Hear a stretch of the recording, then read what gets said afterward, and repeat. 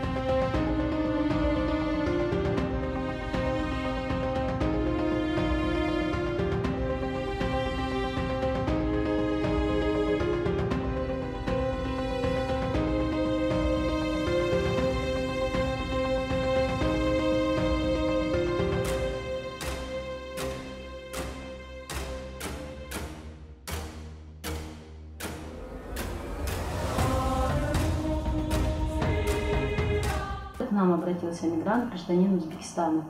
А, Проблема заключалась в том, что он находился долгое время в трудовой эксплуатации и был пропущен срок регистрации.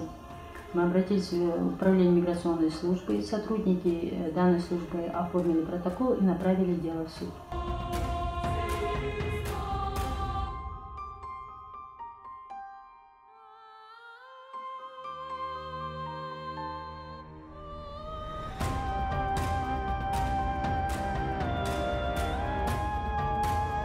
Процесс обжалования э, данного решения очень долгий и сложный. И таким образом он был лишен возможности восстановления ранее э, нарушенных прав. 1996 года по 2000 год я проживал в городе Актау. В 2000 меня осудили. На момент осуждения у меня был паспорт СССР. Я был здоров и на двух ногах. На данный момент меня хотят выдворить из Казахстана на одной ноге из паспорта Азербайджана. Правозащитники говорят, что я жертва пыток. Я прошу государства защитить меня. Я хочу жить там, где растет мой сын. Мужеству и желанию жить и работать полноценной жизни Валеры можно позавидовать. Это видим мы, это видели участковые, которые курировали его, это видят сотрудники миграционной службы, давшие ему возможность для защиты своих прав.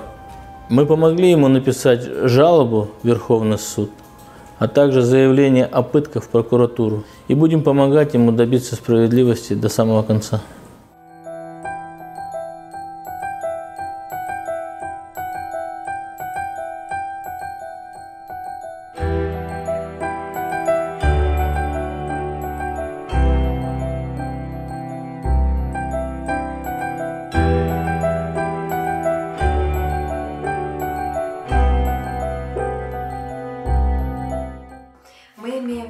Руках ответ на наше письмо от следователя Алматинской области, где а, на перечисленные нами факты эксплуатации, такие как удержание паспорта, ограничение свободы и подневольный труд, подтверждаются.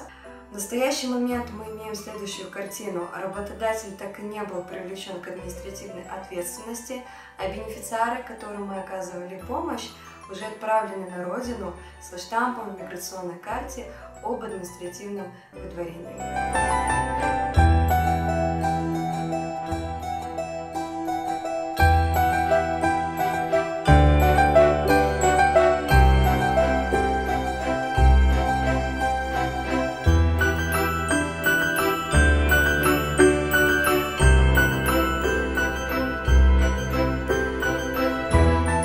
только возможность значит, обжаловать ее в Верховный суд, в том числе попросить э, ходатайствовать перед прокурором о пересмотре вступивших в законную силу судебных актов.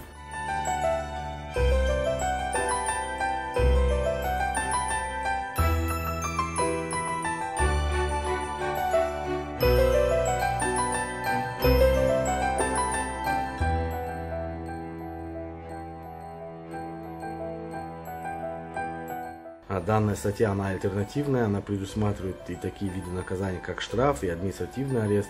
Однако суд как бы э, принял самое суровое наказание, это выдворение за пределы Республики Астан.